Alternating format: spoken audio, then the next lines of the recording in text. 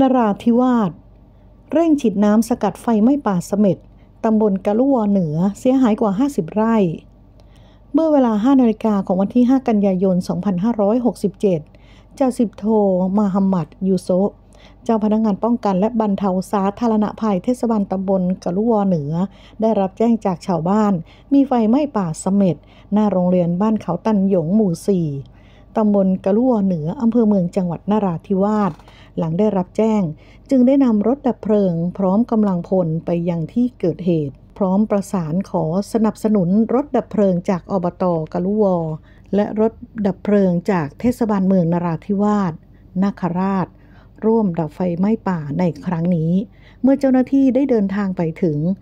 ก็พบ กลุ่มควันไฟขนาดใหญ่กำลังลอยขึ้นจากป่าเสม็ดสู่อากาศเป็นจำนวนมาก จึงทำให้การสัญจรไปมาบนถนนไม่ค่อยอำนวย และทำให้หมอกควันเข้าไปในโรงเรียน หลังจากนั้นทางโรงเรียนประกาศให้นักเรียน เรียนครึ่งวัน เนื่องจากหมอกควันเข้ามาในโรงเรียนเป็นจำนวนมาก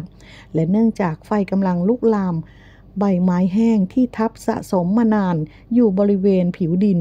ในเบื้องต้นจากการคาดการณ์ป่าเสม็ดถูกไฟไหม้แล้วกว่า 50 ไร่ โดยเหตุไฟไหม้จุดดังกล่าว นับเป็นครั้งที่สองที่ไฟไหม้ป่าเสม็ดแห่งนี้ โดยครั้งแรกเมื่อวันที่ 19 สิงหาคม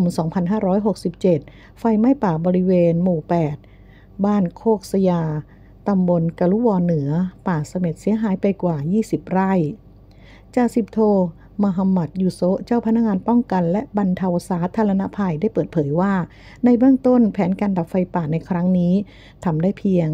สกัดเพลิงไม่ให้ลุกลามขยายวงกว้างกว่าเดิม ด้วยการฉีดน้ำพื้นที่ป่า ที่ยังไม่ถูกไฟไหม้ให้เกิดความชุ่มชื้นมากที่สุด เนื่องจากรถดับเพลิงไม่สามารถนำรถเข้าไปดับไฟได้ ทั้งนี้ยังคงมีรถดับเพลิง เตรียมความพร้อม อยู่บริเวณจุดที่เกิดเหตุ เนื่องจากยังคงมีใบไม้แห้ง ที่ทับถมสะสมหนากว่า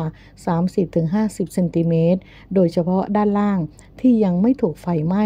อาจจะปะทุ ทำให้ไฟไหม้อีกรอบ ส่วนผลกระทบจากควันไฟในครั้งนี้ ส่งผลกระทบต่อประชาชนที่อาศัยบริเวณโดยรวม ในรัศมี 1 กิโลเมตร โดยเฉพาะชุมชนบ้านเขาตันหยง และโรงเรียน บ้านเขาตันหยง ได้รับผลกระทบโดยตรง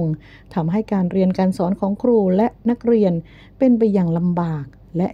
อีกหน่วยงานที่ได้รับผลกระทบเช่นกันก็คือสำนักงานเทศบาลตำบลกะลุวอเหนือ ที่ห่างจากจุดที่เกิดเหตุเพียง 500 เมตร แม้จะยังไม่ได้รับผลกระทบโดยตรง แต่หากทิศทางลมเปลี่ยน ก็จะพัดกลุ่มควันไฟเข้าหาอาคารสำนักงานทันทีค่ะ นิว 24 สถานีประชาชนสการิยาภาพข่าว พระดาสุวรรณรายงาน